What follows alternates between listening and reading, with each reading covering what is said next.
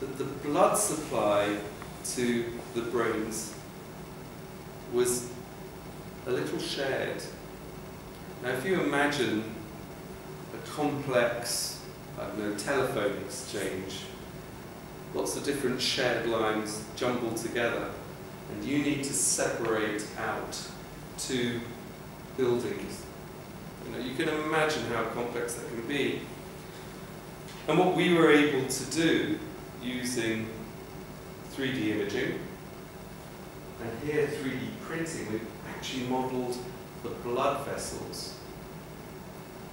And then rather laboriously marked out the key blood vessels that belonged to each baby to say to the surgeons, look, cut here, move this.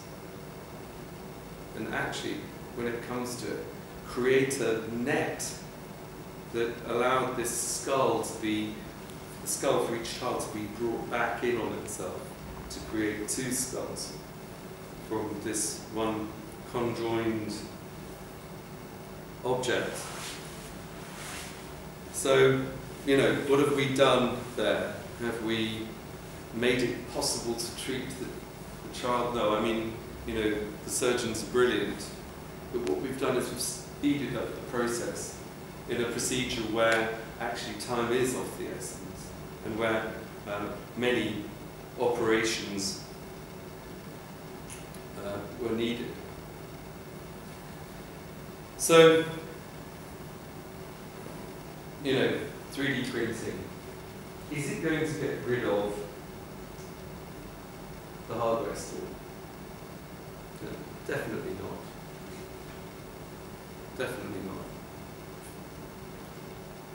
Is it going to get rid of Amazon?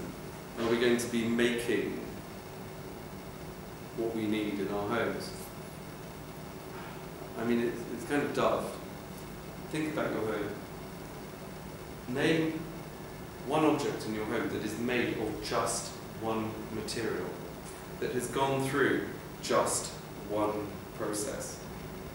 Can you think of one?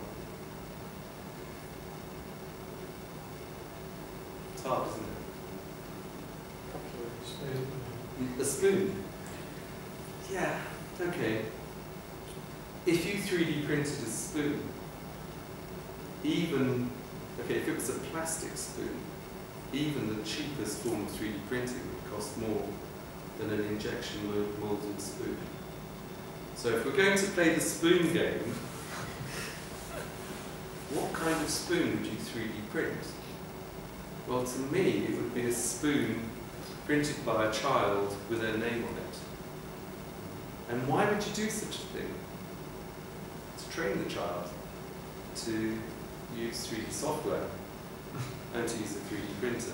I can't think of any other reason particularly, but you might want a particular kind of plastic spoon that fitted into your